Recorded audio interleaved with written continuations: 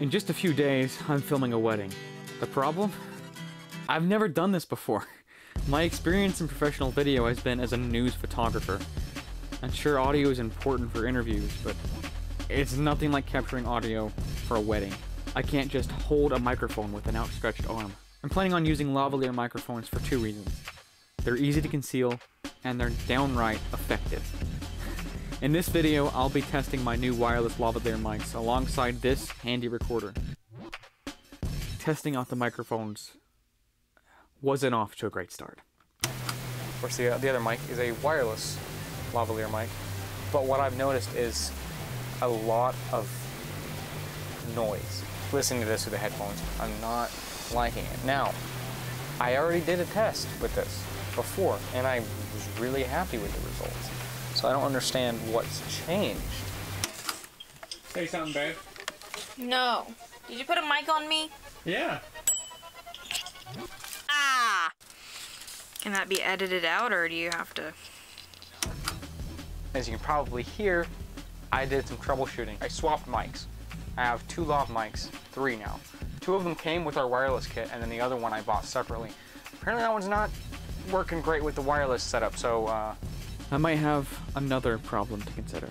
We have one receiver and two transmitters, which means they're gonna share one audio channel. So if something happens with one mic, it's gonna overwrite the whole channel, basically, and I can't cut out this kind of noise right here if that ends up happening.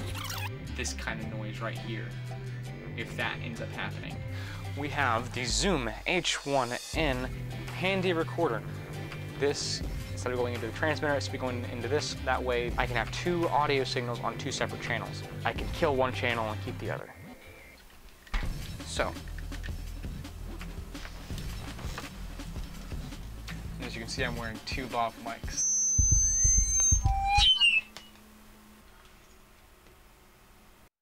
I'm, I'm, I'm, I'm, I don't know what I'm doing. I'm wearing two lavalier mics so that I can compare pound for pound in real time the difference between these mics. One microphone is hooked up to the wireless transmitter, another is hooked up to my handy recorder. And in case of an absolute emergency, we also have the internal microphone on my camera, giving us three separate channels to pick from. Let the testing begin. Without a sign, her booth hinted at her trade only by the shelves of stock Android parts that crowded the walls. It was squeezed into a shady cove between a used NetScreen dealer and a silk merchant, both of whom frequently complained about the tangy smell of metal and grease that came from Cinder's booth, even though it was usually disguised by the aroma of... The aroma of honey buns from the bakery across the square. Cinder knew they really just didn't like being next to her. A stained tablecloth divided Cinder from the browsers as they shifted past. The square was filled with shoppers and hawkers, children and noise, the bellows of men as they bargained with robotic shopkeepers, trying to talk the computers down from their desired profit margins. The hum of ID scanners and monotone voice receipts as money changed accounts. The net screens that covered every building and filled the air with the chatter of advertisements, news reports, gossip, Cinder's auditory interface dulled the noise into a static thrumming, but today one melody lingered above the rest that she couldn't drown out.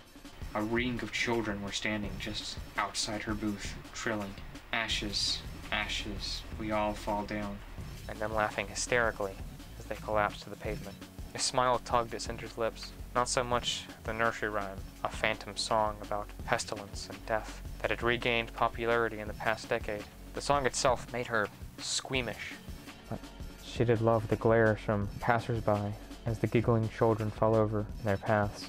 The inconvenience of having to swarm around the writhing bodies stirred grumbles from the shoppers, and Cinder adored the children for it. Well, I think I have read enough. I'm hoping that this audio speaks for itself. Again, I have here on channel 2 the H1N handy recorder. My wireless uh, transmitter here, I'm confused by it. But in terms of it being a wireless transmitter, that worked really well for me. I liked that. The kit comes with two of these transmitters. I'm very hesitant to use two of them because they'll end up sharing an audio channel because there's only one receiver. That's why I'm suggesting we do this at the wedding. We use one for the groom, one for the bride. We can only do two channels of audio, but we have this recording device, and we have two channels on the on the camera, so a total of three channels of audio. Let me know what you think of these. And uh, let me know if my plan sounds sound or uh, if I'm talking craziness. I'm tired. It is midnight. I'm gonna go make a pizza and play Horizon Forbidden West. Highly recommend the game. Bad ending, but very well made game. Did I stop the recording? Do I have now?